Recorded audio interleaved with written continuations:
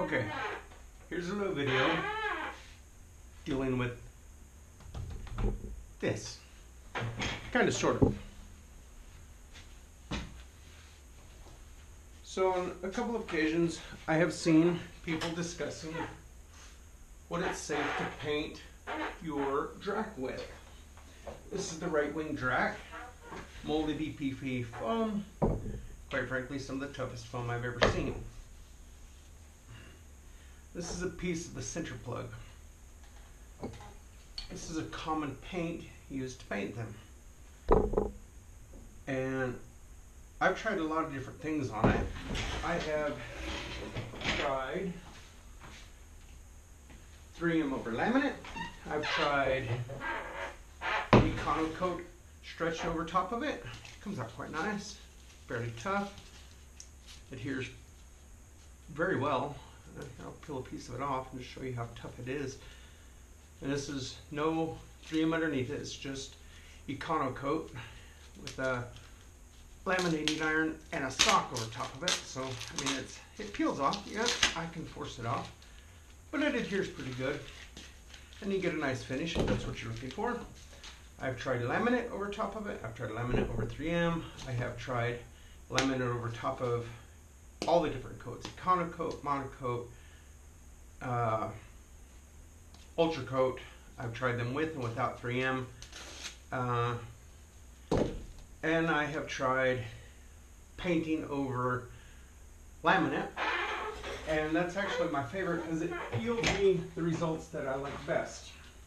I get nice clean lines, nice finish, nice smooth, fairly scuff resistant, easy to clean up, and it's tough. But I saw a post last week where someone had talked about using this and watching and possibly having the solvents in this attack it. I've never seen any solvents attack this particular EPP foam. Uh, it's very dense, it's molded, it's just, it's tough, super, super tough. I mean, super tough. So I thought, I'm gonna get a can of this. I don't normally use it. Uh, like the color, but this is Performix Plastidip, and this is the Blaze color. And apparently the concern was if you're too close to it, you can damage it. So we're going to do a little experiment right now, and we're going to see. I do, however, want to put a cover down so as not to make too big of a mess. Maybe, maybe. Moment, moment. All right, we'll do it without it. I'll make a mess. Dedication, right? All right, so thoroughly mixed. And normally paint like that, I'm going to deliberately try and melt this foam. And I'm as close to it as I can possibly get. I'm actually laying little stringers. They're, I don't know if you can see them, but that is about as close as I can get to it. Hey, Ernie. Hi, how are you? Good, how are you? And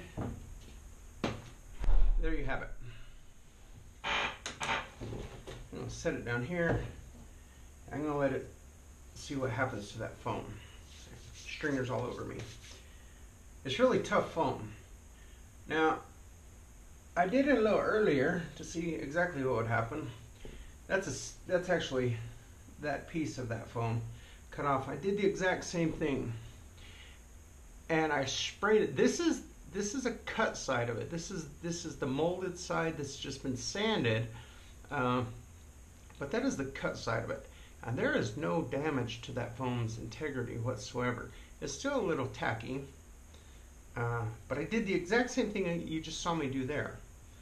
So as far as damaging this paint, or excuse me, damaging this foam with this paint, I think you're going to be hard pressed. Quite frankly, I think you're going to be hard pressed to damage this foam with any paint. So, just my little two cents, and let me know what you think.